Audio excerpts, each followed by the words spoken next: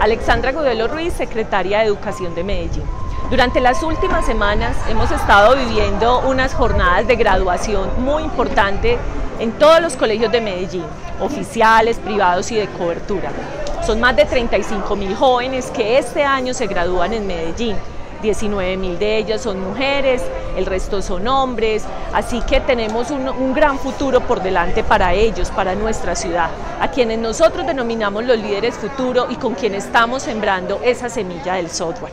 Tenemos la primera promoción de bachilleres Blenden, más de 10 mil estudiantes o bachilleres técnicos que le entrega Medellín al país y que por supuesto continuarán en la educación superior, con matrícula cero, con talento especializado.